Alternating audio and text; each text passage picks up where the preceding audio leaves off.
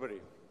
Uh, welcome back to the second lecture in the Gifford 2016 uh, Gifford series. Uh, I hope you thoroughly enjoyed yesterday and this evening, and I think we can all look forward to uh, the second lecture. I won't delay it any further, and welcome Professor Sean Carroll back to the stage. Thank you. Thank you. Uh, welcome back. It's great to see people here. One never knows when giving a series of lectures uh, in lecture two whether anyone will show up after lecture one. So I'm very glad that there are some people here. I can't really tell whether you're the same people or completely different. So maybe no one liked the first lecture, but you just want to hear all about the physics, which is what we're going to get to in here in lecture two. So for those of you who are here, I talked a little bit about the arrow of time and the difference between the scientific image of the world that we've developed over the last few hundred years and our manifest everyday image of the world, saying that ideas like the flow of time and the uh, connection between causes and effects, which seem so central to our everyday thinking about the world, are nowhere to be found in the fundamental laws of physics. So how do we reconcile that? So today's task is to tell you about the fundamental laws of physics, at least the ones that we know about and how closely they come to talking about uh, uh, how close they come to telling us everything about the laws of physics that underlie our everyday lives. The answer is entirely. So this is the major claim I want to make and try to defend, and I will I'll try to be honest and even give you sort of the reasons why this claim might be wrong, as well as the reasons why it might be right. But the claim is that the laws of nature underlying the everyday world, the laws of physics underlying the life that we see in our everyday experience are completely known. And I used to say are completely understood, but then people got on me, was like, you don't really understand gravity, man. And they're like, well, but we know general relativity, we know the equations that make it work, okay? You can debate about whether or not that counts as understanding, but we know what the rules are. And so I need to be very careful about what exactly the everyday world is, what the laws of physics are, and so forth. That'll be the task for today's lecture. And then I will claim that this has consequences for how we should live our lives, and that will essentially be the task for the next three lectures. Now, I know what you're thinking, okay? I know that there is a long history in physics, in science, of people coming up and saying, you know, we're any minute now going to absolutely understand everything about the laws of physics, right? I, I went it like in half an hour on the internet. I found several wonderful historical examples. Simon Newcomb in 1888, we're probably nearing the limit of all we can know about astronomy. That, that turned out not to be true. Uh, Michelson, the more important fundamental laws and facts of physical science have all been discovered. Physics, as we know it, will be over in six months, says Max Born. And then Stephen Hawking in 1980 made this kind of prediction that, you know, it's just a matter of a couple, a decade or two before we'll have the theory of everything, physics will be sussed, we can all go home, okay? I'm not saying this. This is not the claim that I'm trying to make. My claim may or may not be true, but I'm saying nothing whatsoever about the absolute full theory of everything, the final laws of physics that tell us how it all works. I'm not saying that we are close to knowing everything. I'm saying that we already know something, which probably you'll agree with, but the contentious part is that something is big enough to tell us everything interesting and relevant about all the stuff that makes up you and me, all the particles and forces and all the pieces that are in any way relevant to our experience, to our biology, to our psychology. Everything you've ever seen with your eyes, touched with your fingers, tasted with your tongue is described by known laws of physics. And that's what I want to get across. So, what do I mean when I say known laws of physics? And this is one of those examples. I'll, I'll be throughout this series of lectures trying to highlight examples of things physicists know and never tell you. Okay? So I mentioned you can go out and buy popular books about relativity, about cosmology, string theory, the multiverse, but you don't go out and buy popular books about quantum field theory. Nevertheless, quantum field theory is what physicists learn. So you can Google books on quantum field theory. There are many of them, dozens and dozens, but they're all for professional physicists. Quantum field theory is the way the world works, according to our best current understanding of the laws of physics. It is the combination of two things, field theory and quantum mechanics. And I'm going to try to explain a bit of both of those to you. According to quantum field theory, you might think the world is made of particles and held together by forces. So there are electrons and quarks, and they're held together by electromagnetism and so forth. Quantum field theory says that all of these things, whether they are particles or forces, are manifestations of underlying fields filling all of space. If you come away from this lecture knowing one thing that you didn't know the hour before, I hope it would be that. So let's go back to uh, Isaac Newton, famous physicist and mathematician. Probably, I mean, I would say there's not even a doubt in my mind that Isaac Newton was the greatest scientist of all time. And one of the things is that he knew when he didn't have everything figured out. So his law of gravity is one of his famous achievements. The gravitational force between two objects is proportional to the mass of those two objects individually, and it's also inversely proportional to the square of their distance. So if you take two objects that have a gravitational force between them, if you doubled the distance, the gravitational force would go down by a factor of four, the famous inverse square law. It works. If you, it, it's not perfect. Einstein, with his general theory of relativity, superseded Newtonian gravity. We can do better than Newton did now. But you know what? You don't even need general relativity to fly a rocket to the moon, because Newtonian gravity is such a good approximation in a certain domain of uh, applicability. Nevertheless, Newton worried that it was somehow unsatisfying. And this is a very, very frequent situation in physics where you have a rule, a law that works perfectly well, but you think it's not the final answer to everything. There must be something deeper, and it's some aesthetic or intuitive criterion that you apply. So Newton looked at this law and he said, I don't like it because here are some different satellites being pulled by some gravitating body like the Earth. I'm telling you that the force, the force of gravity on these objects goes inversely as the distance squared. How do they know how far away they are from this planet? How do these planets know what the gravitational force on them should be? It's as if there's instantaneous communication across distances, action at a distance, that tells these planets or satellites what the gravitational force is supposed to be. So Newton, in his Principia, left that for future generations to figure out. And I, I, would claim that it was figured out by our friend Pierre-Simon Laplace. He appeared in the last lecture as someone who had invented what we now call Laplace's demon, pointing out that in Newtonian mechanics there is conservation of information, and if you know the world now, you can predict its future and its past. There was something completely separately that he did, which is that he reformulated Newtonian gravity as a theory of a field. So Newton would have said, here's an object, here's an object, there's a force on each of them, right there at their locations, there's nothing going on in between. Laplace says, I don't have a new theory of gravity for you. I'm basically rewriting Newton's theory of gravity, but I'm rewriting it in a way that makes us feel better. Maybe that's a good thing. And the way that he rewrote it was to say, imagine there is a field filling all of space, by which I just mean there is some mathematical structure, some physical object that is represented by a mathematical structure, which is just a number at every location in space. Called this the gravitational potential field. So every location in space has a number, a value for the gravitational potential field. And Laplace gave us two things. Number one, he gave us an equation which says, what is the gravitational potential field? And the answer is a big, heavy object pushes down and distorts the field. The second thing he said is, what is the force acting on an object due to the gravitational potential field? And the answer is, you take the derivative, you take the slope. The more the field is changing from point to point, the more the gravitational field is going to be pulling on you. So you see this curved line represents the value schematically of a gravitational potential field. And rather than the value way over there being instantaneously and spookily de determined by the sun or the earth over here, the sun or the earth, earth over here determines the value of the field where it is, which determines the value of the field right next to it, which determines the value of the field right next to it, and on throughout the entire universe. So what's happening at any point in space is not determined by things far away, but by things very nearby.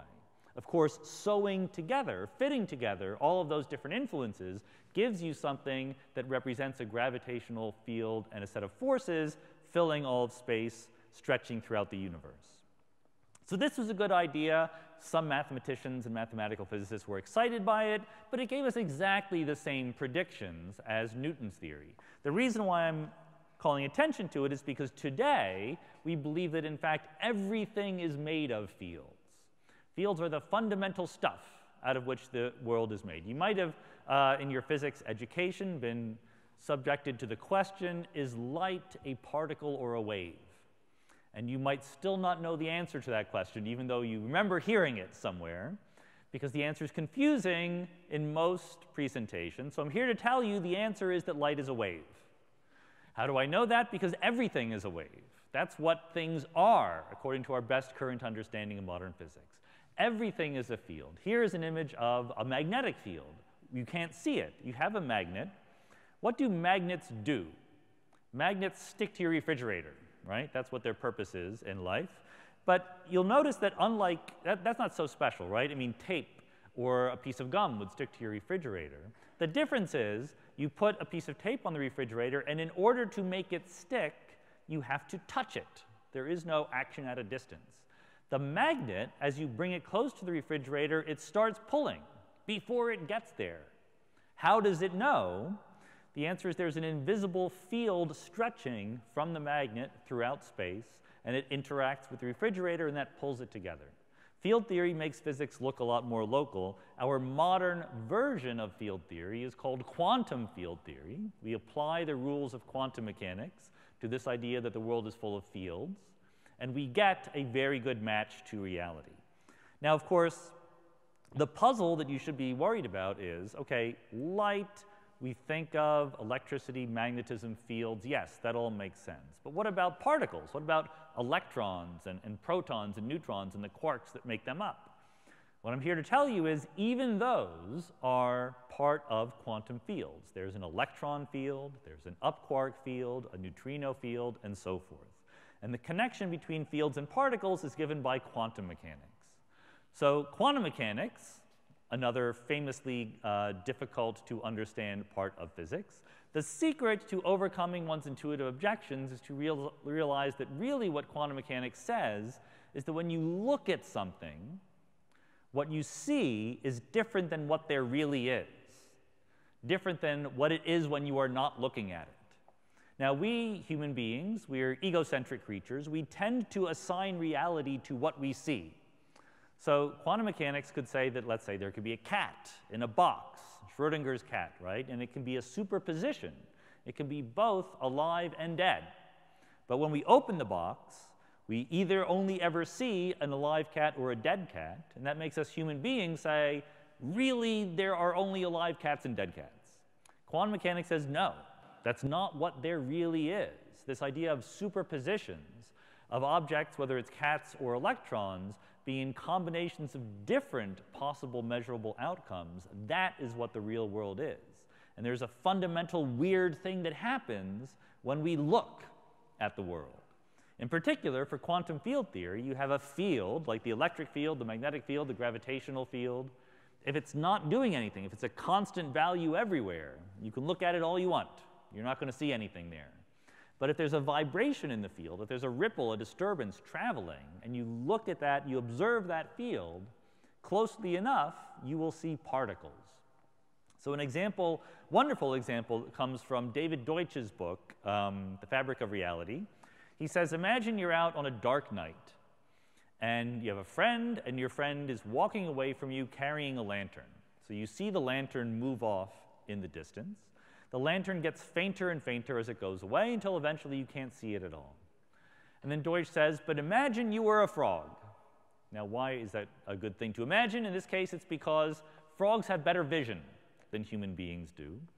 A frog watching its friend carrying a lantern, it's a thought experiment, but the frog sees the lantern get fainter and fainter until it stops getting fainter and instead starts flickering off and then back on again. And as the lantern gets further and further away, what the frog sees is the flickers on become more and more dispersed in time, more and more rare. There are less and less flashes of light. That's because frogs have eyes that are sensitive enough to detect individual photons. What there really is, is a wave of light moving from the lantern to your eye, but quantum mechanics says that when we observe that wave, if we observe it closely enough, sensitively enough, with sufficiently delicate apparatus, we will see individual packets of energy. The, the, subtle thing here is that it's not because it really is individual packets of energy. It really is a wave. But there's a difference between measurement and reality in quantum mechanics. What it is is a wave, what you see are particles. So let's go a little bit more into the weeds here about quantum mechanics because of the things that are part of the laws of physics underlying everyday life, it's the fundamental structure of quantum mechanics that we are the least confident in. So the idea of quantum mechanics is you take what was your understanding of the world in the classical world. Remember, Newton would have said, if you want to know the state of an object, you give me its position and its velocity or its momentum. And I can predict what it's going to do, whether it's a cannonball moving or a rocket accelerating or what have you. So quantum mechanics says no. There is no such thing as the position of an object or the velocity of an object. It does not say that they're uncertain, or it does not say you don't know what they are. It says there is no such thing as the position of an object or the velocity of an object. This cartoon we have on the left that I'm going to happily draw many times over the lectures to come is only a cartoon. This is an atom. There's a nucleus at the center with protons and neutrons. There are electrons orbiting around it. It looks just like a picture you would draw of planets orbiting the solar system. It is also entirely inaccurate as a real representation of what happens. The picture on the right is actual data. This is taken by a very, very careful electron microscope reconstructing an image of what an electron is doing orbiting, uh, in this case, a helium atom. And you see it's not located anywhere. This is not smeared out over time. This is the state of the electron at one moment of time. It is a wave function, is the phrase we use in quantum mechanics. And the wave function is, in quantum mechanics, the thing that tells you the state of the object, okay? It replaces what was, in classical Newtonian physics, the positions and the velocities of everything. If you had a quantum mechanical version of Laplace's demon, it would say, tell me the wave function, I will tell you how it will evolve. Now, when we look once again, we see what our classical intuition tells us to expect. We see, we measure, we observe positions and momenta. And the relationship is that the quantum mechanical wave function tells us the probability that we will observe the particle with a certain position, momentum, and so forth. So where the wave function is bright, that means it has a large value. That means were you to look for it in that picture on the right, you have a high probability of seeing it there. Once again, I'm just going to repeat myself, but it's worth remembering, not because it is probably there. Okay? That picture on the right, that's where the electron is. That's what it is until you look. And in quantum mechanics, by looking at it, you change it in an important way. So, this fact that we can only use the wave function to predict probabilities of outcomes rather than certain uh, definite answers like we could have had in classical mechanics is part of the weirdness of quantum mechanics, part of what we don't understand. The relationship between the wave function and the probability is easy. The probability of getting an observational result is just the wave function's value squared, its absolute value squared. So this is something called the Born rule after a famous physicist, Max Born. He wrote a paper back in 1926. And it's, er, it's, it's worth just looking a little bit at this historical document, this paper by uh, Max Born. For one thing, it's, there's a footnote, there's a little dagger in the title of the paper. So you go, oh, that's interesting. I wonder what that says. And you look down at the footnote, and it says, roughly speaking, I submitted this to a different journal, and they rejected it because there wasn't enough space. I can tell you as a professional physicist, that never happens. This is like the most insulting report back from an editor you possibly could receive. We don't have enough room in our journal to print your paper. But that's okay. So Born says, well, maybe in this other journal it's okay. So I, will get it in. All right. So you keep reading and you're looking for the Born rule as a modern physicist interested in history. And you find the place where he states it. He says, phi, this is what he's calling the wave function, phi gives the probability for the electron to move in one direction or another. And then you go, wait a minute, that's not the Born rule at all. The Born rule says that the probability is the wave function squared, not the wave function. But then you notice, oh, there's another footnote. All right. Addition in proof. More careful consideration shows the probability is actually the square of the wave function. There you go, Nobel Prize, 1954, uh, for that footnote saying it was the wave function squared. Of course, it's not the fact that you're supposed to square the wave function that he got the Nobel Prize for, it's the interpretation of what the wave function is in terms of measurable outcomes. That there is no way in quantum mechanics to say with definiteness what your measurable outcome is going to be. You can only give the probability. This bothers people, and for good reasons. What is really going on?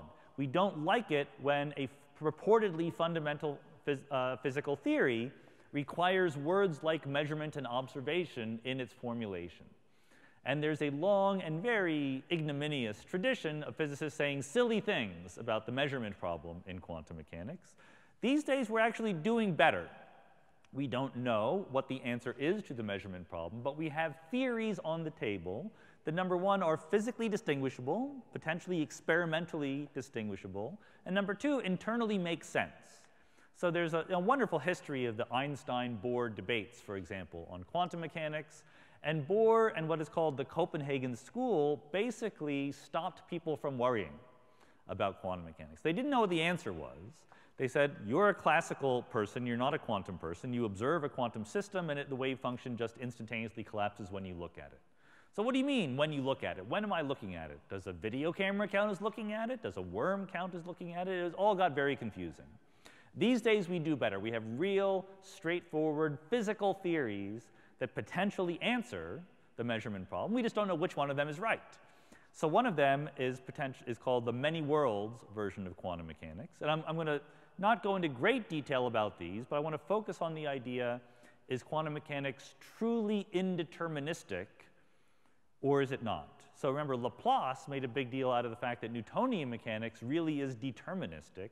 Quantum mechanics seems to be indeterministic. It tells you you only calculate probabilities, not certainties.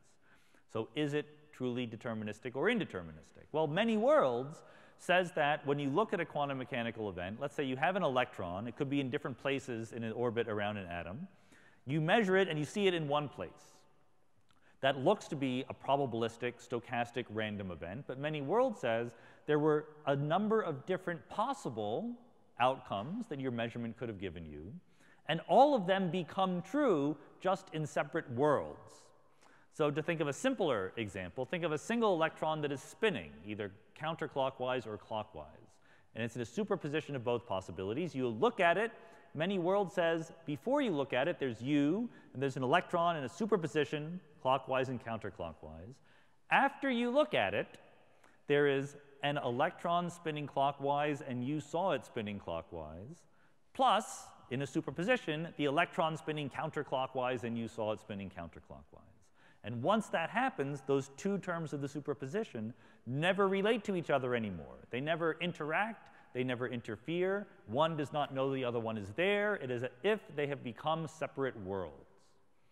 And this is not something you posit. You do not invent the idea that these worlds are there. They are predicted by the equation, by the Schrodinger equation that tells you how wave functions tend to evolve. If you don't believe in these other worlds, if you don't believe in the many worlds interpretation of quantum mechanics, you have to invent some reason to get rid of those other worlds. So in many worlds, the wave function evolves in a perfectly deterministic way the problem is that you go from being a single person to being two people who have different measurement outcomes. And once that splitting happens, there's a moment where you don't know which one you are. That's where the uncertainty comes from. It's epistemic uncertainty. There's something you don't know about your state in the universe, even though the whole wave function of the universe is entirely deterministic. There's another possibility, the hidden variables approach. This goes right back to the very founding days of quantum mechanics. Maybe there is something we don't know about the universe. Maybe there is some physical information other than the wave function, and maybe that will deterministically tell me what the measurement outcome is going to be. There's a famous theorem by John Bell from the 1960s that says that if there are such variables, such hidden variables, they cannot be local. The variables must have information spread out through space. So there's a certain segment of physicists that say, all right, let's go with that, non-locality, so be it. There's no evidence that these hidden variables exist yet, but it's, it's in the proper circumstances a very well-defined theory and worth thinking about. Once again, perfectly deterministic. The apparent randomness comes from the fact that you don't know what the values of the hidden variables actually are. Finally, there are dynamical collapse models, which remove the word observation from quantum mechanics entirely, but say that in a picture like that uh, wave function we had over there, every so often the wave function collapses itself. Very, very rarely, but occasionally that will happen. And if you have a small thing where it's just one or two electrons, that almost never happens, you will almost never see it. But if you have a big macroscopic object, at least one of those electrons collapses its wave function all the time, very frequently. So what you see then is that large objects with many moving pieces look classical and deterministic. Small things will have this stochastic element to their evolution and be described by wave functions. So that is a weird theory. It sort of fits the data. It's different than the other theories. It's experimentally distinguishable. The experiments are going on to test this idea right now. But in this theory, the world would truly be indeterministic rather than deterministic. So the sad news is that if you want to know, is quantum mechanics really deterministic or not? We don't know. I hate to be honest about this, but that's the truth. We, we know what to predict. We know what measurement outcomes are likely with exquisitely finely tuned probabilities. We know how to calculate them. But if you ask, what is the underlying ontology that makes this happen? Is it really deterministic or not? We honestly don't know.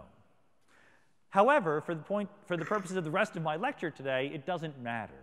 We tend to talk a lot about determinism, but it's not the point of what we're going to do with these laws of physics. The point is that there is an equation. That in whether it's dynamical collapse, many worlds, or hidden variables, there are absolutely impersonal physical quantities evolving absolutely clearly by a set of mathematical relationships. There is no role for human consciousness or volition. There's nothing outside the universe making it happen. There's no future teleology saying that you're headed towards some eventual goal. It's just impersonal laws of physics chunking the universe forward in time. So, my attitude toward quantum mechanics for the rest of this lecture is there are certainly things we don't know about it. Uh, part of my own research program is to help figure that out. What we do seem to know is that there are equations. It's impersonal, that just goes forward in time. That's all we need to actually ask the question, do we know enough to say what happens inside you and me, the particles and forces of which we are made? So for there, I know that there's probably one or two physicists in the audience, so I have to come clean about this obscure technical thing, the difference between a wave function and a quantum field. They both sort of seem like things that are filling all of space, but their status philosophically is very different. The wave function says, you give me a classical reality, and to every possible version of that classical reality, I will assign a number, and I would square that number to give you the probability of observing that classical reality. If my reality is just a particle, I assign a number to every single position. If my reality is a field, I assign this number to every single possible field configuration. So a field is actually a classical thing, which I then quantize. This is called second quantization, even though it shouldn't be. That's a very dumb name, but people call it that. The particles appear because when you observe the quantum field, you get these discrete answers coming back. Do you see it or not? Well, you see it, you don't see it, you see two particles, etc. Particles are the measurement outcomes when you look at quantum fields. The field is classical, the wave function is a wave function of all the possible field configurations. I hope that made you very happy, so don't, tell, don't let anyone think that I didn't tell you the truth here. I'm trying to be honest. Okay. The upshot of all that is we know enough quantum mechanics to say what happens in the circumstances we can actually experimentally access. And number two, what happens is there are fields, they vibrate, we look at them, we see particles. So what are the particles? Here were the particles we knew about around 1935. It was a simple universe. You could have forgiven a physicist who lived around 1935 from saying that as far as the fundamental particles of nature are concerned, we found them all. It seems likely that we found them all. I, I picked 1935 because that was the year that we found Mors, knowing that this was not true. But as of this year, As far as anyone could tell, there were neutrons and protons. They were inside the nucleus of an atom. Different nuclei of atoms are different combinations of different numbers of neutrons and protons. And there are electrons that orbit around, so three particles. And there's also three forces. There's the electromagnetic force, which in the atom serves to hold the electron to the protons and therefore to the nucleus. There must be some kind of nuclear force. People didn't in 1935 know anything about the details, but they knew that something held neutrons and protons together inside the atomic nucleus. And of course, there's gravity that pulls everything to everything else. So nothing about this picture went away, but we've improved it. Here's the picture that we've had since 2012. Most obviously, we know that neutrons and protons are not themselves elementary particles. They're made of smaller constituents called quarks. We've traded in two particles, neutrons and protons, for two other particles, up quarks and down quarks. A proton is two ups and a down, a neutron is two downs and an up. We have traded in one force, the nuclear force, for two forces. We now know there's something imaginatively called the strong nuclear force and the weak nuclear force. The strong nuclear force holds those quarks together inside the neutrons and protons. The weak nuclear force is a little bit weird. It took a while to find it, to discover it. What it does is converts up quarks and down quarks back and forth into each other. So that lets a neutron decay, for example. A neutron all by itself is an unstable particle. It converts into a proton, an electron, and another particle called the neutrino. So that's a fourth particle. So now we have, instead of three particles and three forces, four particles and four forces.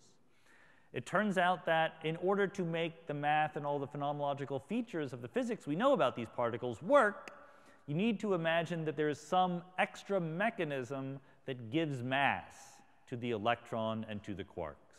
And that mechanism is yet again a quantum field lurking in the background called the Higgs field. That's the background image here.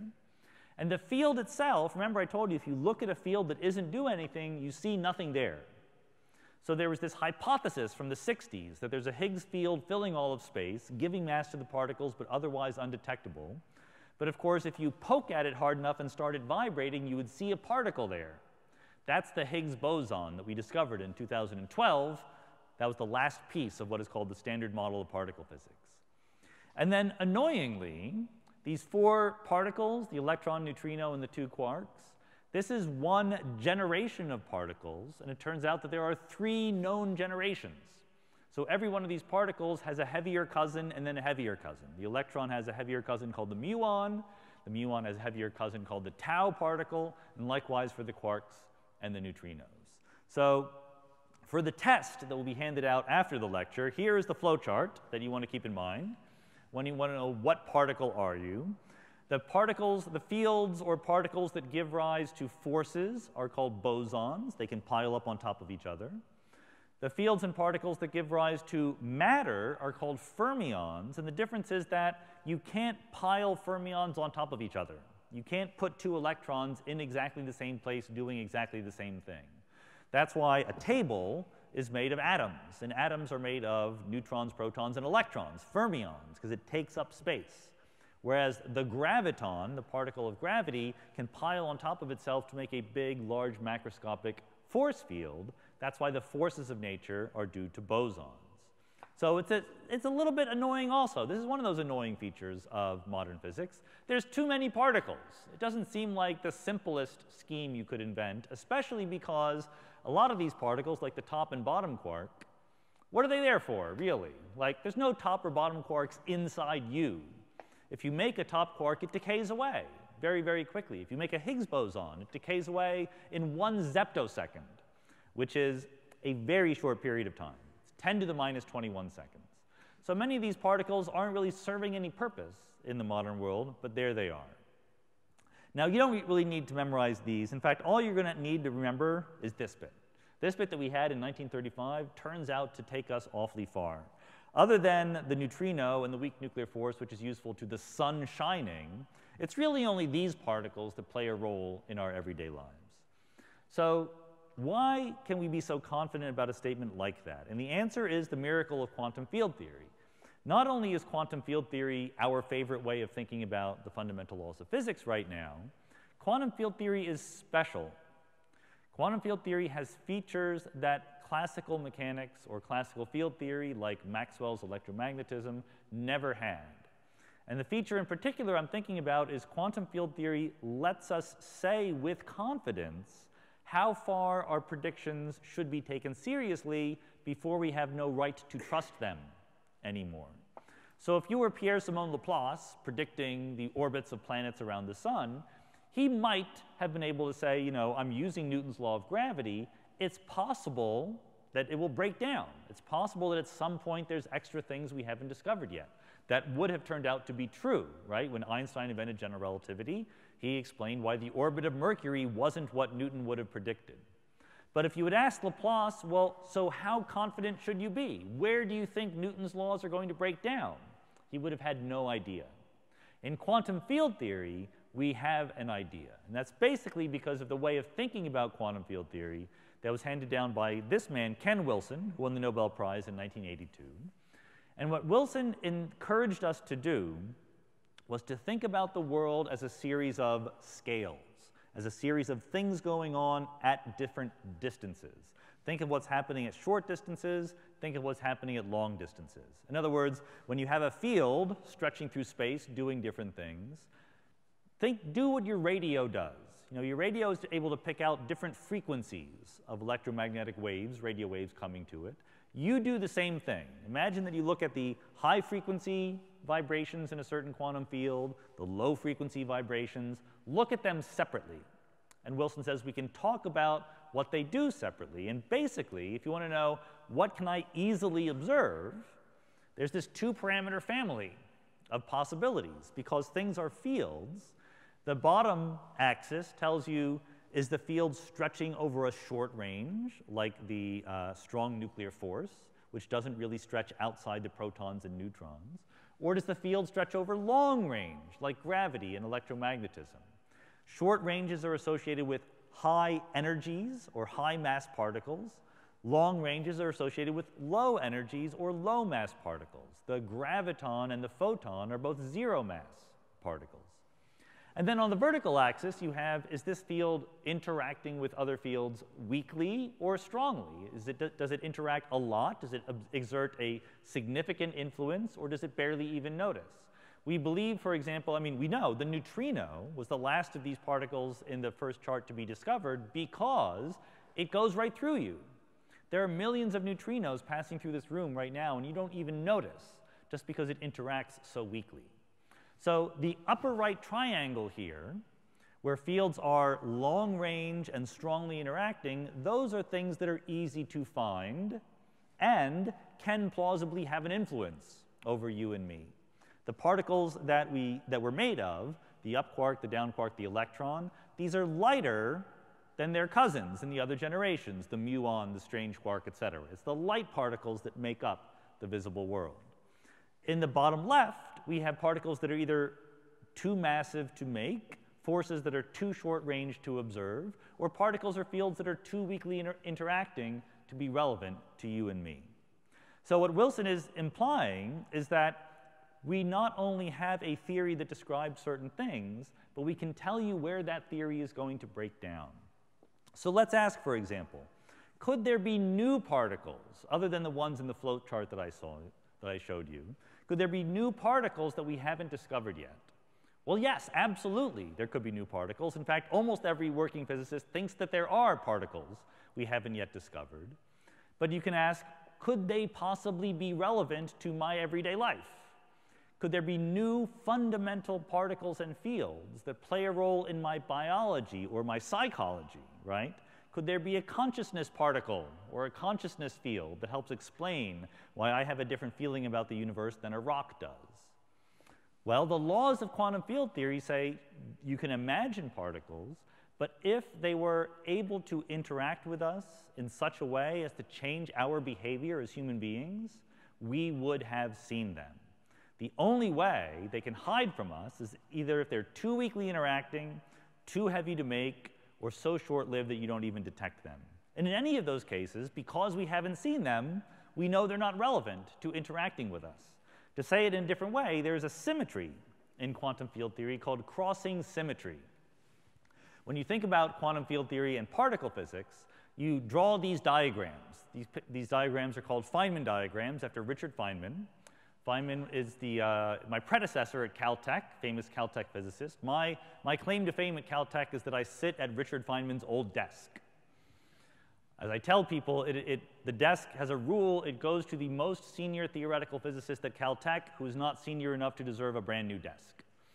So one of the things Feynman became famous for were, were these little pictures. And a Feynman diagram tells you two things. Number one, it tells you what can happen. So on the left, you see a diagram and time runs from left to right.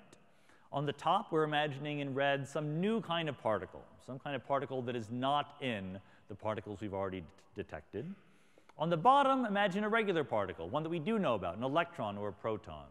And imagine there is some new interaction that lets them interact. So we're imagining there's some kind of new particle that might affect the particles that I know exist inside my body. So there has to be some way for that to happen.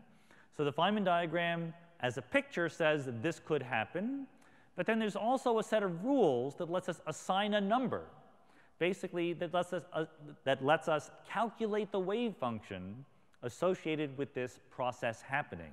How likely is it that if you push an ordinary particle and a new particle into each other, they will scatter off via this interaction? Does that happen a lot or only very little? For two protons approaching each other, it happens a lot. For two neutrinos, it happens very little. Okay? Crossing symmetry says that if you calculate that Feynman diagram, asking how strongly do these two particles interact, there's another diagram you get by rotating by 90 degrees that has the same size, the same importance to its interaction, the same likelihood of happening. So you get this diagram rotated clockwise 90 degrees. What you have are two ordinary particles coming together, like let's say a proton and an antiproton. They annihilate into this new field, and then they decay into the new particle that we're asking, could it possibly influence us? The point is that if the diagram on the left gives you a big number, because this new particle could be important to us, then the diagram on the right gives you a big number, which means you can make it. Because this is what particle physicists do. They smash particles together. We have smashed protons and protons, protons and antiprotons, electrons and protons, every, every different combination we've smashed together, and we've looked to see what comes out. That's how we discovered the top quark, the Higgs boson, et cetera. And the answer is there's very, very good limits on anything we possibly have not yet seen. There are no particles that are easy enough to make and interact strongly enough with the particles of ordinary physics that they possibly could be lurking around in this room right now, interacting with the atoms inside your body, playing a role in how you think and feel and act. If there were any such particles, physicists would have found them and they're not there. You can ask the same question about new forces of nature. Could there be new forces that you know, could act? So you may have seen the demonstration where someone picks up a spoon and they bend it with their mind by thinking about it really hard, right? Let's imagine that there is some new force of nature that goes from my brain to spoons and lets spoons bend. Is that possible? Well, it would have to be a force that interacts between electrons, protons, and neutrons, because that's what I'm made of and that's what spoons are made of. So we can look for new forces between electrons, protons, and neutrons over and above the ones that we already know. They're not there. Either they only extend over very, very, very short ranges, or over the ranges they do extend over, they're very, very weak. So I can actually show you some data. It's always nice to show data in a philosophy talk. Um, here are actual experimental constraints on possible new forces of nature over a wide variety of different length scales. And actually, this goes from you know, a little bit smaller than a meter over to very long distances, but there's similar limits that stretch to the left. The point is, look at that green arrow up there, because on the left, the vertical axis is how strong this new force would be in comparison to gravity.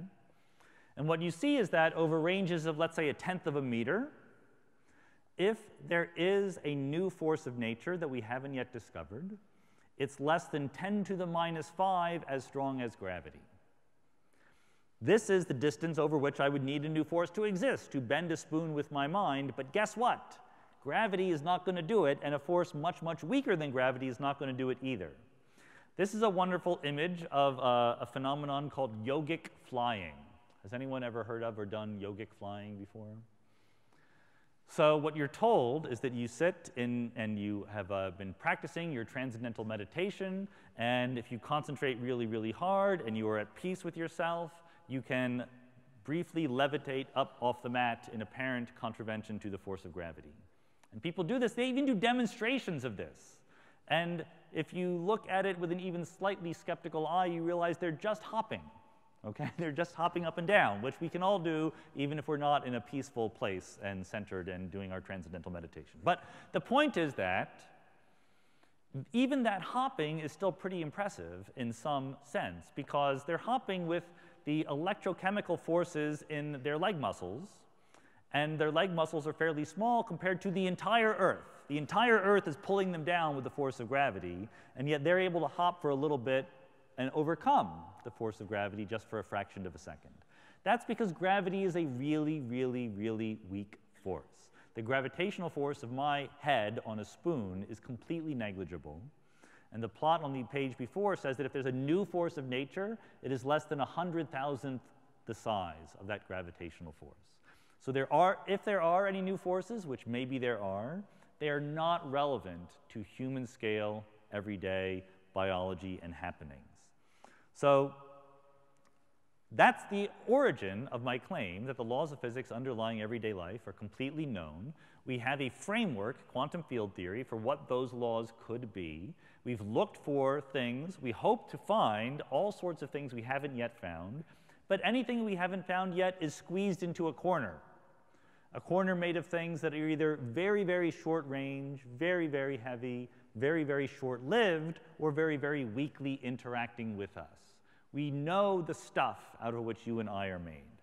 Now, you might say, well, that's okay, I don't believe quantum field theory, right? You are starting with some assumption that quantum field theory will remain the true way of describing the world. I think there might be a deeper reality underneath it. And it's absolutely conceivable that that's true, but it's not very likely. And that's because quantum field theory isn't just something we made up because it's successful. It really can almost be derived. It turns out that if you posit some very, very plausible underlying assumptions, you can show that the only kinds of theories that obey these assumptions are relativistic quantum field theories. And those assumptions are basically quantum mechanics is true, relativity is true, and things look like particles when they're far away from each other. I say when they are far away from each other because let's say you believe in string theory, a very popular theory of quantum gravity. String theory says you replace individual particles with little loops of string.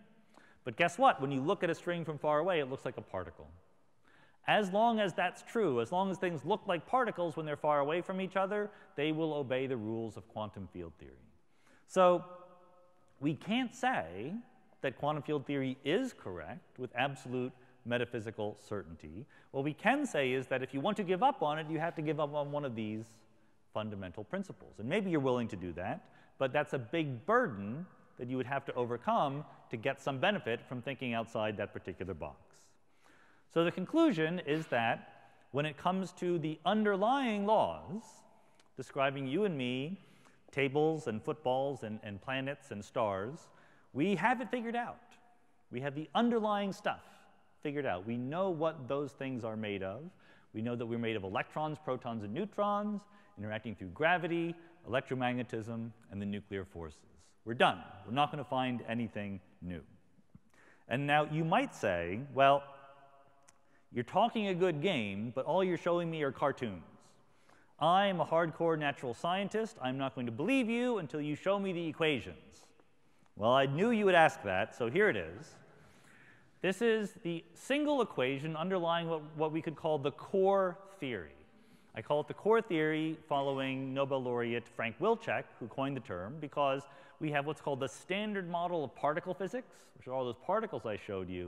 And then there's general relativity, Einstein's theory of gravity. And if you hang around on the wrong street corners, you might have been told we haven't yet quantized gravity. And there's some truth there, but there's also some non truth there.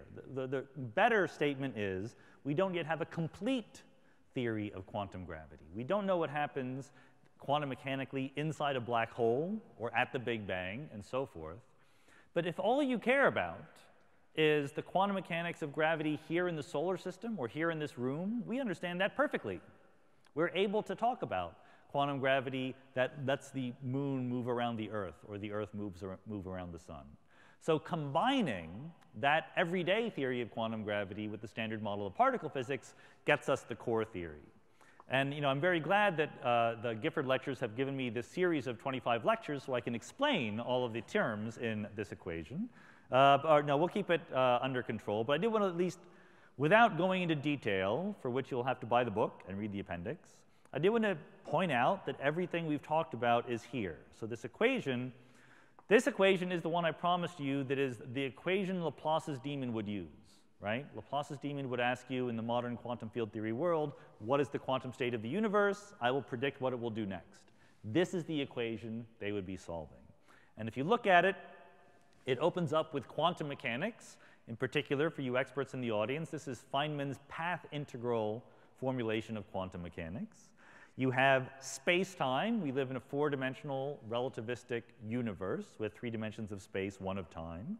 You have gravity. This is what Einstein gave us. You notice it's the smallest term in the whole equation, and that's part of the, the fact. This is why people say Einstein's general relativity is such a beautiful theory. It comes out of almost nothing, almost one little term in a long equation. You get the, all the other forces have a very different form from gravity. You get matter, which is to say electrons, protons, neutrons, or if you'd like, up, downs, and up quarks and down quarks and how they interact with each other. And then you have the Higgs boson that we discovered back in 2012. That's it. Everything that is happening inside you right now is obeying this equation to the best of our knowledge. Now, you might go even further and say that you learned when you were a youth that fundamental theories of physics described by equations are only worth studying if those equations fit on a t-shirt. So I can prove to you that this fits on a t-shirt. We've done that experiment also. You can buy them on my webpage. All right. So let me preempt some possible objections here. I'm trying to be very, very careful in the statements I'm making. The laws of physics underlying everyday life are completely known. That leaves a lot of things that we don't know. I'm not saying we know almost everything or anything close to it. Obviously, there's lots of things we don't know about fundamental physics. We don't know about dark matter, dark energy, quantum gravity, etc. And just as obviously, I hope, there's a lot of things we don't know about what happens when you put all these particles together to make complicated macroscopic objects.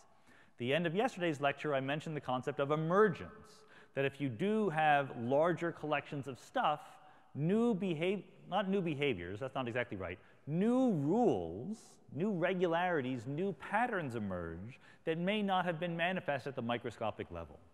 So I'm talking about the microscopic stuff that makes up you and me, but of course, macroscopically, not only is there plenty to be learned about chemistry, biology, psychology, economics, but you would be very, very foolish to try to study economics by starting with the equation of the core theory and going from there. That is not a very practical way forward.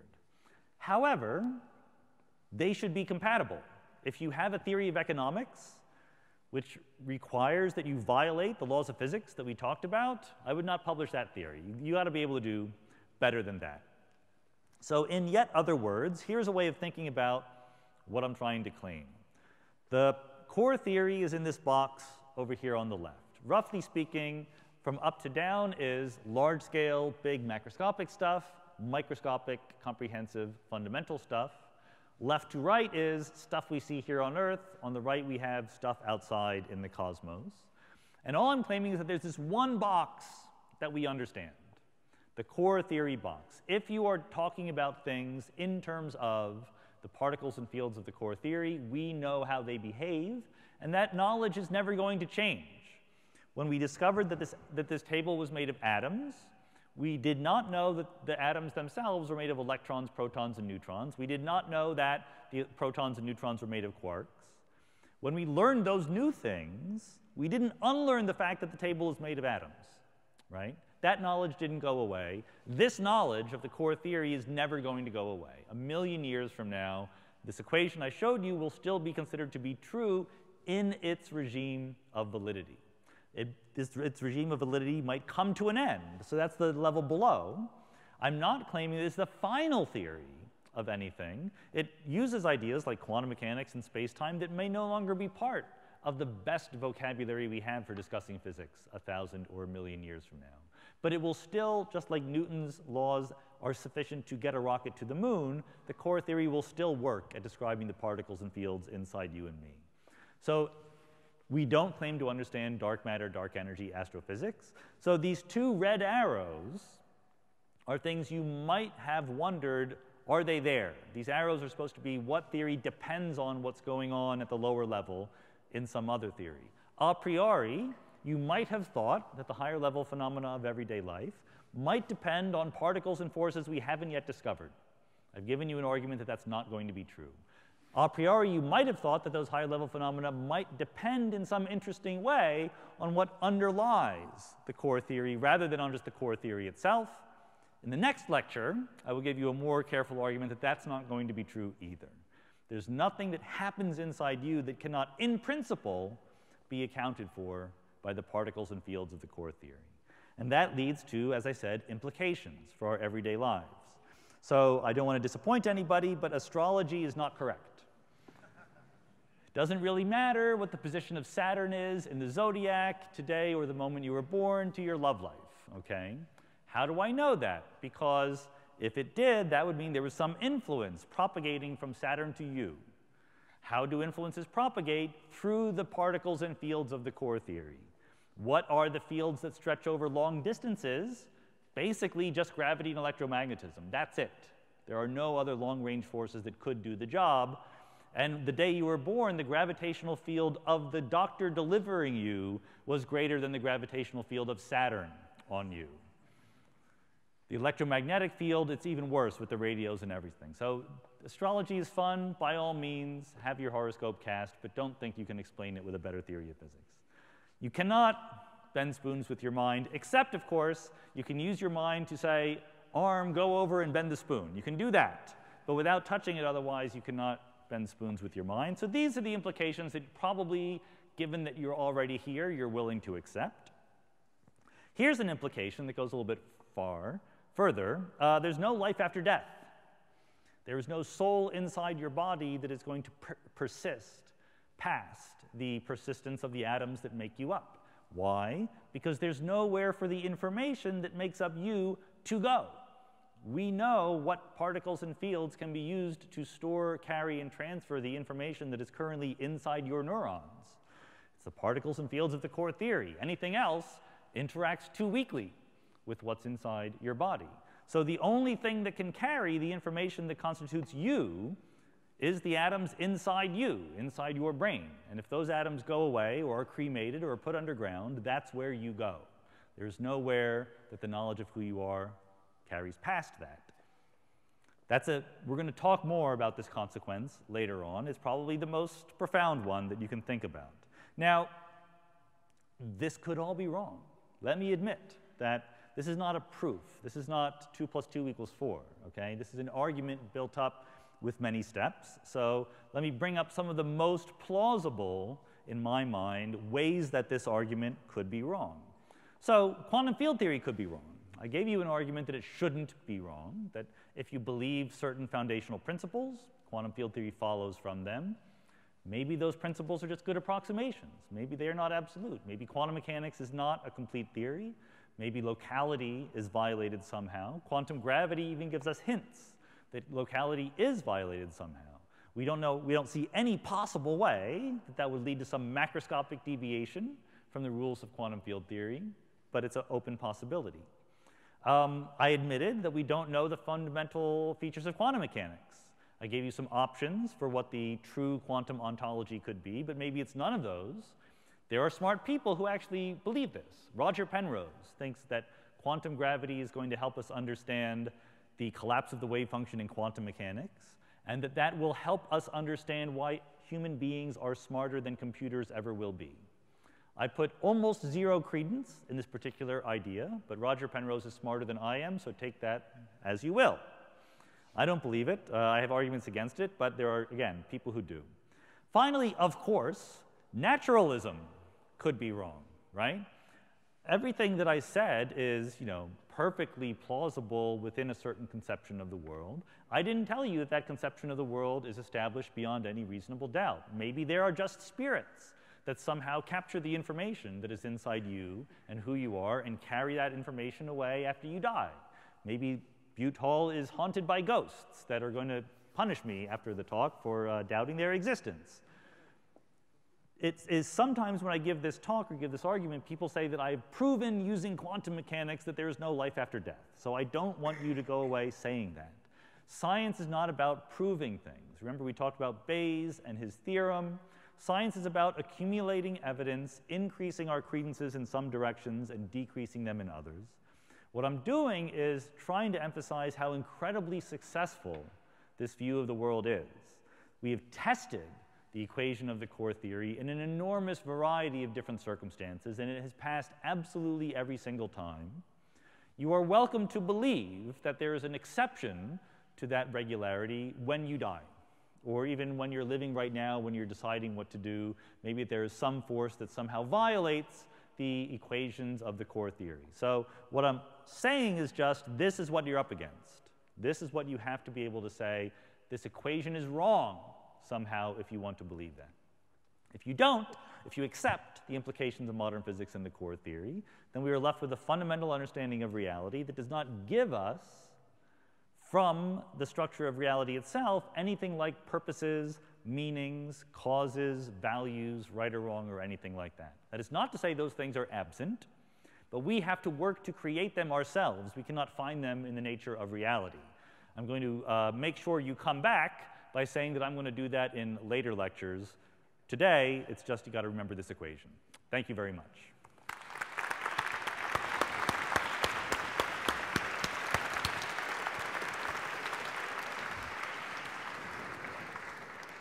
Thank you very much. As with, uh, with last night, we're going to, uh, about half an hour, we're, we're, we're, going to ask some questions. As was last night, we have two agile people running around with microphones. They are turning them on as we speak. Uh, and uh, so if you put, put, put up your hand, uh, they will find you shortly.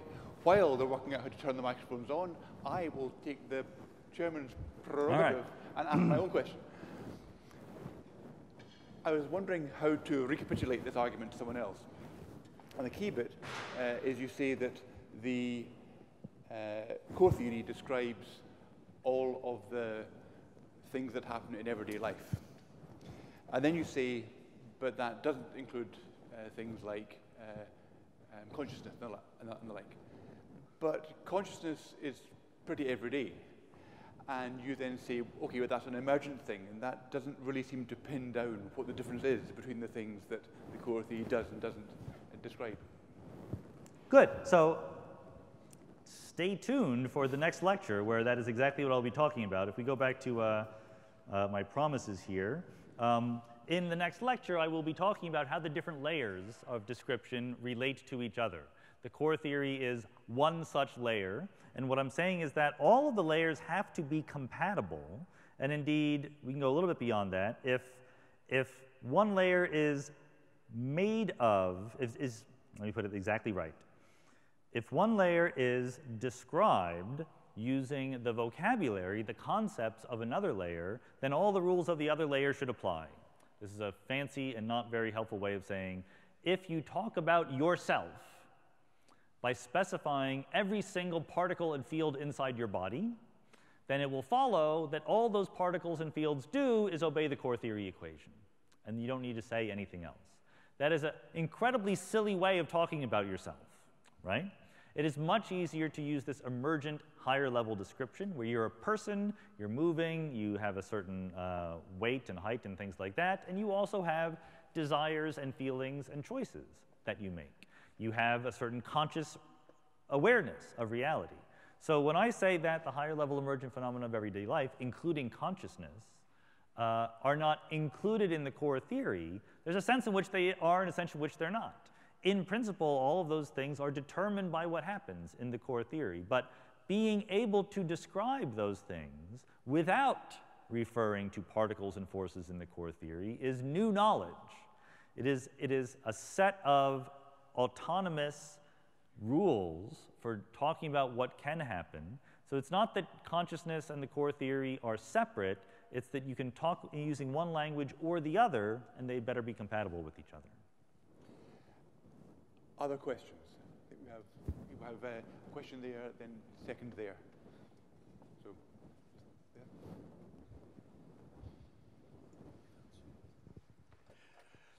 Uh, hello. Um, I have, in fact, three or four questions, but I'm just going to ask the shortest one. You used a phrase that scared me. Good. Met- metaphysical certainty. Yes. Could you explain that? Right.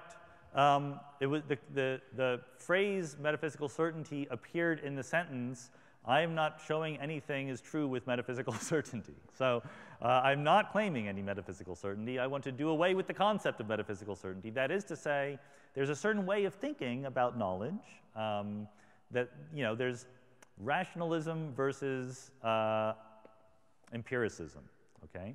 I showed last, last night a picture of David Hume, a champion, a, a local boy and a champion of empiricism. And one way of telling us Hume's lesson, one of his many lessons, is the only way to get true knowledge about the world is by looking at it. There are people called rationalists, which is a terrible name because they're not the only people who are being rational here, but their idea is that there is a priori true knowledge. Knowledge that you can get about the world just through the application of fundamental, unimpeachable, certainly correct principles. I would call the kinds of reasoning that started with those principles and derived necessary consequences from them metaphysical certitude, and I don't believe in it. I'm asking about the 95% of the universe matter, the dark matter and dark energy. Yeah. Are they particles too short-living or too um, um, light to be detected, or they are actually interacting with the, the 5% of the, the universe, but we cannot detect them anyway because I, at sometimes scientists believe that neutrino was a dark matter particles, and they so Right. no. That's right. So good. So we think that in the matter and energy budget of the universe, the particles and fields of the core theory only make up 5%.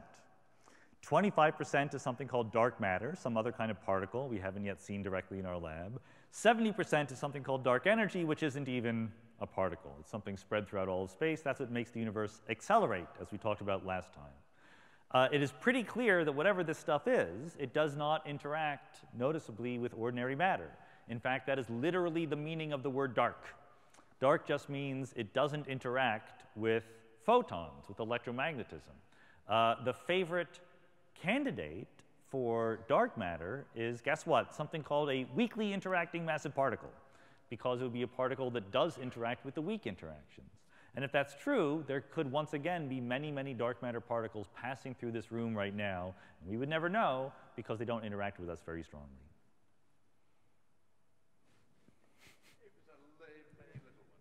If they are not interacting, how come we know that they are there? I mean, Ah, if they're not interacting, how come we know they're there? They do interact with gravity. This is one of Einstein's great insights. Everything that exists interacts with gravity. Everything both causes gravity and is pushed around by gravity. So that's how we know that there's dark matter and dark energy. We can detect the gravitational influence of these things. a a question there.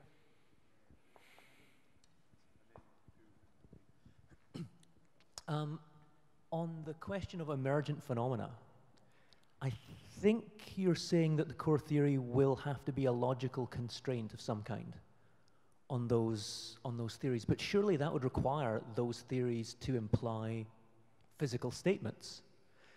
And they won't all, not necessarily. I mean, this is perhaps the wrong place to mention this, but psychoanalysis won't necessarily. So without wanting to squirm out of naturalism, we might not expect every theory of an emergent phenomenon to be, to be logically constrained by the core theory. There's- a kind of, um, uh, I don't know what to call it, but a, a little gap of, I don't know, a little gap, a, a sort of metaphysical gap produced by the irreducibility of one or more discourses to the discourse of the core theory. And What do you think So of that? yeah, I'm not. I, I get it. I think I get it, but I'm not sure there is such a gap, or even if maybe if there is such a gap, it is so narrow I can walk right over it without minding it, as we say in this country. Um, Uh, there's two things. Number one, I don't know whether I accept the word logical in the phrase logical constraint, but certainly I think that the core theory acts as a constraint on any emergent theory. However, those constraints can be very, very weak. For example, your emergent theory better conserve energy or conserve electric charge, right? Uh, it better not let you magically teleport through space. Uh, there's different things that the core theory just disallows blatantly and immediately on the macroscopic level, but it's a rare emergent theory that tries to violate those principles. It becomes more relevant when you really imagine phenomena playing a role in your emergent theory that are manifestly not explicable in terms of the core theory concepts, like bending spoons with your mind. Uh, we could debate the relative uh, usefulness and accuracy of psychoanalysis, but I don't think it's in any way incompatible with the core theory. It's a different way of talking about the macroscopic collections of, of particles uh, called you and me. Whereas, you know, uh, a straightforward belief in life after death or reincarnation is just incompatible with the core theory. Uh, right, so am I right in saying that the Schrodinger's equation allows the cat to be both possible alive and dead at the same time? Yeah? Uh, I'm going to insist that you say it correctly. It is Right. in a superposition of alive and dead at the same time. Right, okay. Right, um, so the theory of everything, is that going to be uh, like relativity doesn't work at short, like tiny scale, microscope, and quantum mechanics doesn't work at the macro scale? Is it going to be a new theory explaining everything, or is it just going to be a theory linking the two together so that the, they're both possible at both distances? Right. So um, I don't know. I mean, if I knew that, I would be a lot more famous as a physicist. Uh, I would be writing that up right now. I'm sorry. I would not be giving the lectures next week. Uh, we would like to know. You know, we this the reason why all those physicists made their silly statements that I quoted years ago about physics being almost done is because whenever you have something that is pretty good, like we have the core theory, like they had Newtonian mechanics and E&M, you know, there are flaws. There are things that you know don't quite fit, right? So we were talking just the other day, uh, Lord Kelvin, another local boy, uh, was one of the ones who made statements about physics being close to being finished, but he knew that there were a couple of things that didn't quite fit, and those things that didn't quite fit turned into relativity and quantum mechanics, right? So it's possible that there is a correct theory of everything that is quite close to what we already have, that is a quantum field theory in some, in some sense. Just a, it's like the core theory, but it's an extension of it. In some sense, that's what string theory is, right? It's a, in some sense, a very conservative modification, replacing point particles with strings, but otherwise keeping the general machinery. It's also possible that we're at level three in a 100 level system, and we have 97 levels to go before we understand the very basic structure of reality. I don't think there's an infinite number of levels. I think there is a very basic structure, but the concepts that that most comprehensive, most basic, most fundamental, ultimate theory of everything will refer to, I cannot say with any confidence what they're going to be. There's a question up the back there.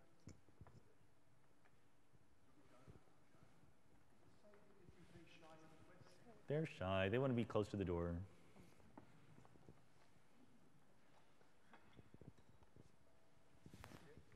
Um, this is more, I think you partially answered my question, but this slide with five different sources or uh, portions of what we know, dependencies, could there be more or less? So is this just your opinion, or could, for example, higher emergent phenomena be related to astrophysics? Well, uh, Right. in the same slide. Sure. So there are absolutely, certainly a lot more boxes than this. This is a certain way of grouping the boxes together, whereas where a box means some particular story, some particular theory, some particular emergent vocabulary for describing the world. I chose this particular way of writing it because what I wanted to highlight was the relationship to the core theory. There's stuff above it, stuff below it, stuff to the side, okay? That's the basic categorization. But of course, in the box labeled higher level emergent phenomena of everyday life, there's many, many sub-boxes in that one. And of course, in astrophysics and cosmology, we can discuss the theory of galaxy formation.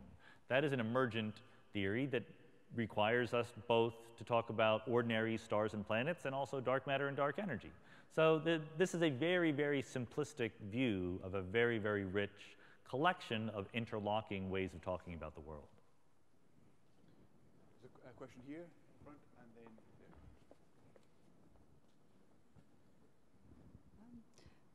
As you explained, um, gravity is part of Einstein's theory, and it goes back to Newton and so on. And I remember last week, you uh, last time yesterday, we explained how two objects fall on a slope at different speeds because of their mass and so on. But suppose you take this into a non-gravitational environment.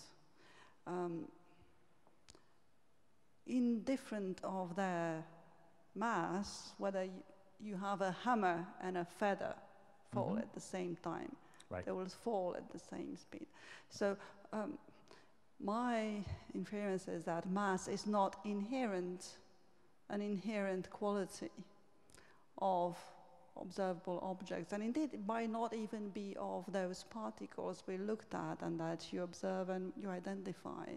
So looking for it in this way might just be condition of the, uh, you know, the, the, the, the environment we're, we're, we're in, of course, on, on, on Earth or other gravitational sort of uh, environments. So um, do, do you agree that, you know, these obviously rules might not apply in a non-gravitational um, situation? Well, I think, I mean, it's an interesting question, a complicated one. Um, mass is one of those words, as we discussed last time, that physicists use in a slightly different way uh, than you might use in your everyday life. So to a physicist, mass is the answer to the question, when you have an object and you push on it, how much pushing do you have to do to accelerate it?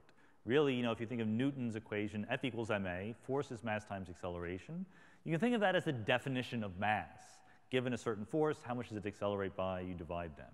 And in that case, the mass of the feather and the hammer are very different.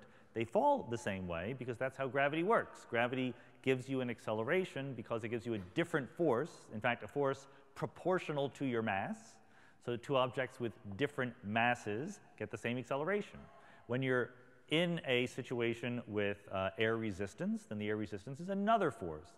But the definition of mass is, is uh, pretty well established in, the, in the, the story of conventional physics. There are other concepts related to mass that might manifest themselves in different contexts in different ways, but mass itself is something that makes perfect sense.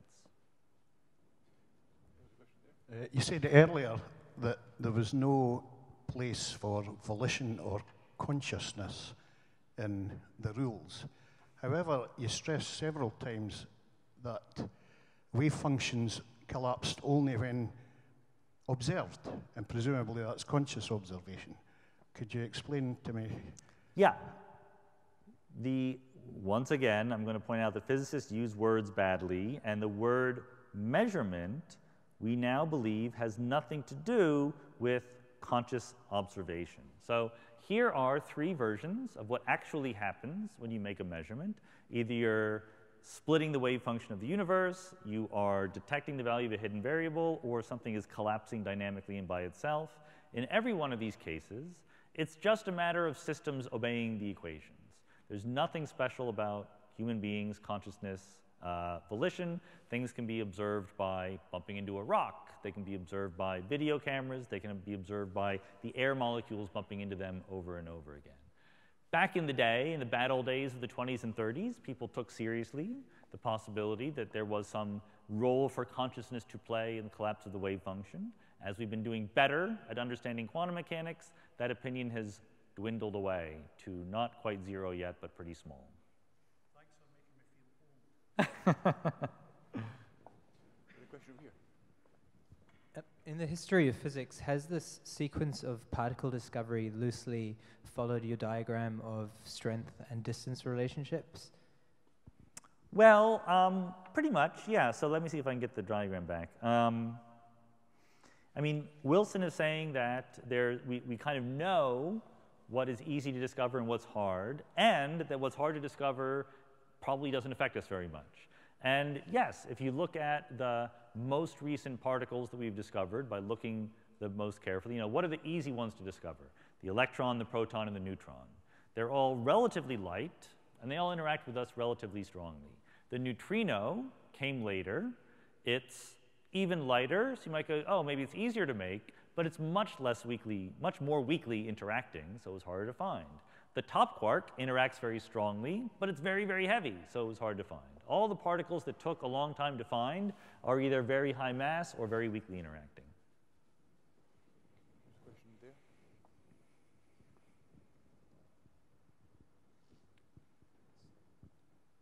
Yeah. um, in the many worlds theory, is there not always going to be some worlds that are blind to some particles and therefore fields? Well, I mean, you have to be careful. Many worlds really is not just a statement there's a whole bunch of worlds and everything happens. It really is the absolutely rigorous deterministic evolution of the Schrodinger equation. And it's not true that every world happens. The worlds happen that you evolve into via the Schrodinger equation. So there are no worlds where um, electric charge is not conserved, for example. And you know, there are worlds where, where you flip a coin a million times, it came up heads every time. There are 2 to the minus a million such worlds. Uh, fra the fraction of all the worlds in which that's true is 2 to the minus a million. So it's very, very unlikely you're going to find yourself in one such world. It's not something to worry about, but in principle, they're there. Unlucky to be in that world, yeah. Question there. Uh, thank you for the lecture. Uh, referring to the slide where you mentioned about dark energy and dark matter and its relationship to the unified theory, um, since does, does this dark energy and matter has the property on the core theory since it's related to the mass and it affects the mass in some way and you mentioned that the core theory also has the property with dealing with the mass. So is there an arrow which can be laid between dark matter energy to the core theory in this case? Thank you. Right, so there's not directly such an arrow. Mass is a concept that applies both to the core theory and to dark matter. It doesn't really apply to dark energy that much because the dark energy is not made of particles. The dark energy doesn't have a mass, it just is, as far as we can tell. But anything that is, remember, the definition of mass is when you have an object and you push it, how much does it accelerate, okay? You can't push the dark energy, it's already everywhere, it's not an object. But both dark matter is made of particles and the core theory has particles in it, and those particles have different values for their mass. That doesn't mean there's a relationship between the core theory and the uh, dark matter at the level of particles interacting with each other. It just means that both of them are obeying the rules of quantum field theory.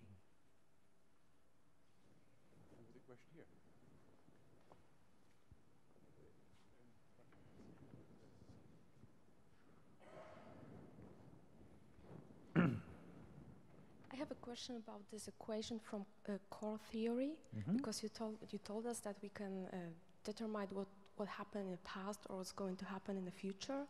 But is it include uh, Heisenberg's uncertainty principle, or is it irrelevant in this case? Good. That's a great question. It's a little bit uh, subtle, the answer, because of course, you have to be very, very careful about words like we and determine and things like that, okay? The ones you normally don't worry about. This equation tells you, given the quantum state of the universe, what it will evolve into, according to the Schrodinger equation, basically, according to ordinary, unobserved quantum mechanical evolution. So that includes the Heisenberg uncertainty principle perfectly well. The uncertainty principle is really a relationship uh, that tells you about how much you can extract classical observable quantities like position and momentum out of the quantum mechanical wave function. The wave function itself is not uncertain in any way. The wave function, once you define it, it evolves perfectly smoothly and deterministically, except for the loophole caused by observation of quantum mechanical states. So if, like me, you favor the many worlds interpretation, there's nothing special about observation. The universe just evolves 100% super duper deterministically. There's nothing fuzzy about it. If you believe they're hidden variables, the same thing is true, but there's an extra piece of information you need to know. If you believe in these dynamical collapses, then it's a little weirder, and uh, we don't have a full theory of what that would be like yet. But the short answer to your question is yes, this includes everything. The uncertainty principle is a feature of what we can observe. It's not something that tells you the wave function itself is uncertain in any way. I think we have time for one more quick question. And, I think you, your hand was. Thank you. Uh, thanks very much again for the lecture. It was excellent. Um, I just wanted to ask the question is, um, are there likely to be parallel worlds or a parallel universe? And uh, why? why are there parallel yes, universes? Yes, yes. Um, well, there could be parallel universes. In fact, there's in modern physics and cosmology a number of different ways that there could be parallel universes. Uh, the same words, once again, we apply to very different circumstances. So the most prosaic down to earth way is what's called the cosmological multiverse.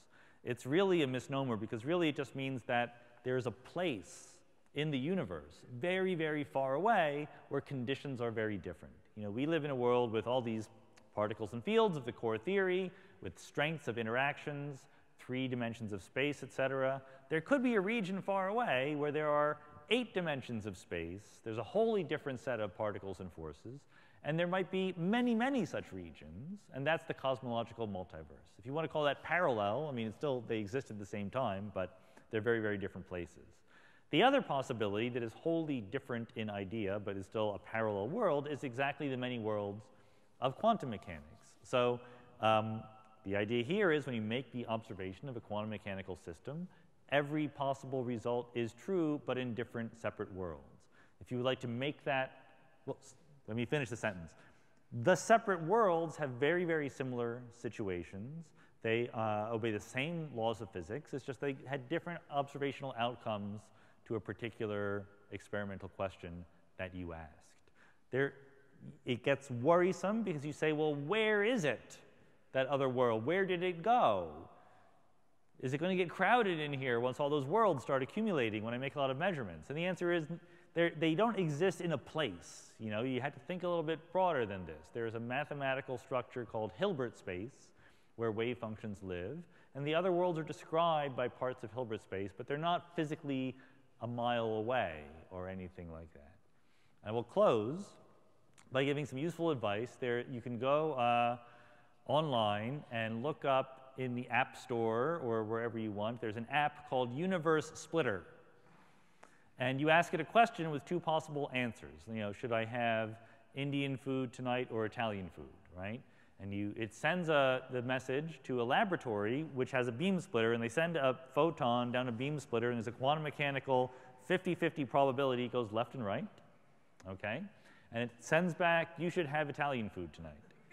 And if you believe the many worlds interpretation of quantum mechanics, there is now a parallel world where it came back, you should have Indian food tonight. And as long as you do what it says, there is one world in which you did one, one in which you did the other. The sad news is you'll never be able to talk to each other and see which was the better meal that night. And on that appetizing thought, I think we should finish for tonight, and I will look forward to seeing all of you and more uh, in the next lecture in the series, which is on Monday evening. And we'll thank uh, Professor Carroll again. Thank you.